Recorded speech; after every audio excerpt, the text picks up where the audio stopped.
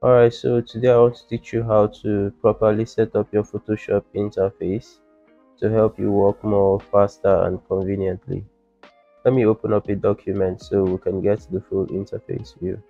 So if you've just installed Photoshop and you open up any document, this is the first view of everything that you see. This is how it is by default and that's because the workspace is on essentials so if you change the workspace to 3d you'll get something like this. So motion you get this timeline down here if you change to motion workspace. And if you change to painting you get this. Change to photography you get this. Graphics and web you get this. So depending on the workspace you choose you get a different view of things. And you have the option to customize your workspace to best suit whatever you're doing and help you work more conveniently. So i'm just going to show you how i like my own workspace to look. Let's get rid of this one. We don't need colors. Let's get rid of gradients.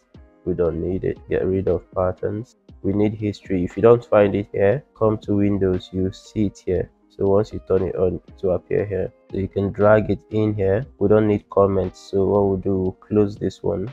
Properties need properties so we're just going to drag it in here. We don't need libraries and adjustments. We don't necessarily need them all the time so we're just going to leave only the things we need more frequently. So let's close this group. All right so the channels we don't need channels. We are closing it. Paths we don't need paths. So either you right click and close tab and close here don't close this. If you close this it closes the whole group. That means it closes this and this together. But if you close just click close. It just deletes the one that is currently on. So we are leaving these layers here. So let's move the layers now.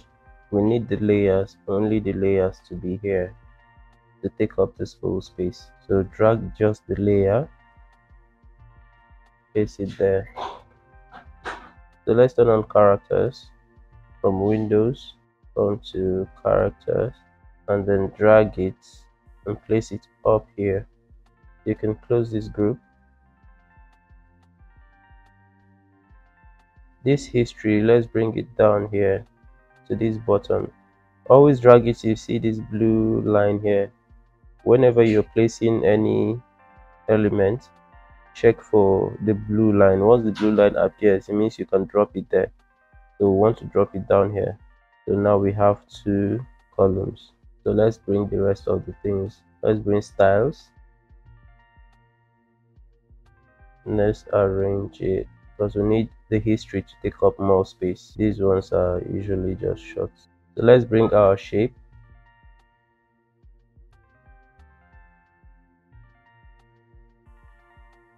so here you have it. You have your history shape swatches properties character. Let's keep character first. Then the styles should stay the same place with the history and shapes. So we'll have three up three down. So now we have our workspace set up. Make these small thumbnails. Small thumbnail now for layers as you can see you can hardly tell what this thumbnail is trying to show you because it's too far away. It's showing you the full canvas in each thumbnail. To correct that come to panel options. Then you choose choose layer bound every other thing you can leave it because it is we can tell this is the young lady yeah because it's showing there. So if you notice when you pick when you select something it's not showing you any indication that that thing is selected.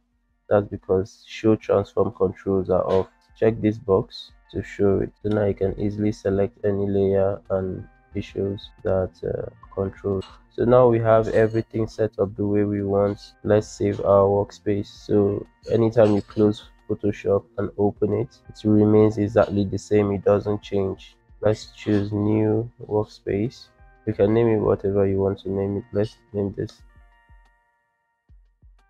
And save. Now whenever we shut down photoshop and reopen it the design is always going to be there for you to choose the workstation. And if we choose other workstation and we don't like it we can go back to what we've arranged. And if peradventure we scatter we scatter the workstation and we want to reset it to look exactly how it was when we saved it. You just come to reset set design and it just rearranges everything for you. So now we're done with the workspace. Let's go to settings and set them up. The general settings check this check this. Everything else in general should remain the same. Come to interface. Use the darker the darkest one. You can use none for all this. You don't need it. Then for the ui font size use tiny scale it show channels for color so your interface should look exactly like this. Come to workspace auto collapse auto show auto show hidden yes yes. Then this one uncheck this enable narrow option bar the workspace should look exactly like this. Uncheck over scroll. Check this one. Check this. Let's go to history. So check this. Five minutes. Automatically saves every five minutes.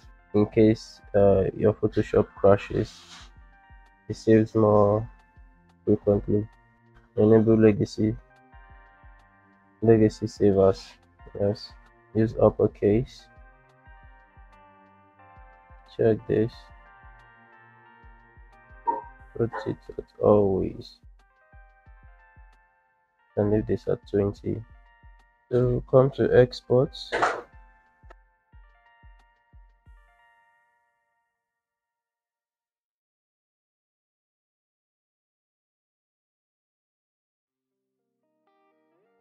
so we're done with the exports come to performance. History states then a 150 everything else is okay the way they are. Come to scratch disks leave it the way it is. There's um there's nothing we're changing here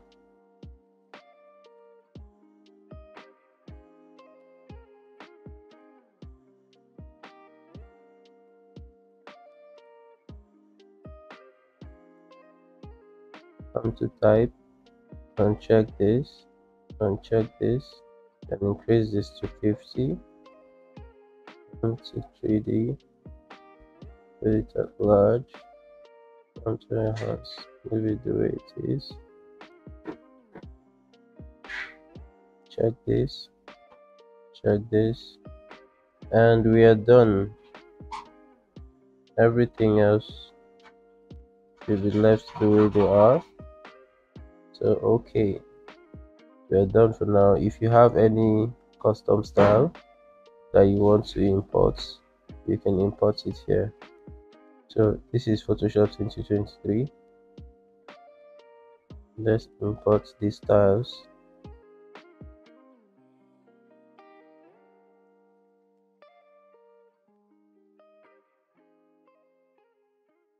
You can delete the default ones if you don't need it I don't. These are the the imported styles. So let's import the swatches. These ones are the default ones.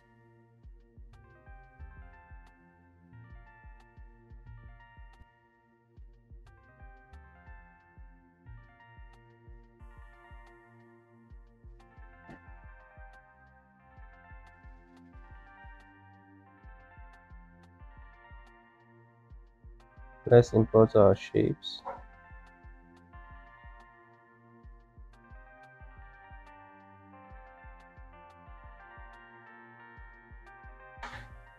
And we are good.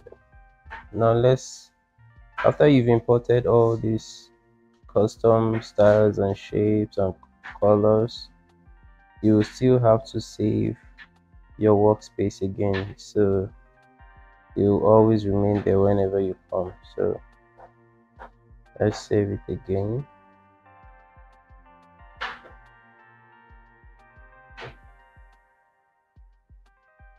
Replace.